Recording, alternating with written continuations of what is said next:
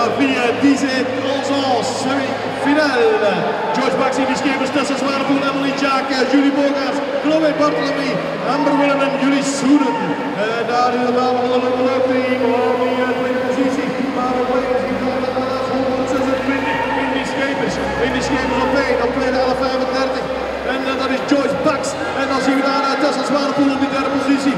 deze halve finale.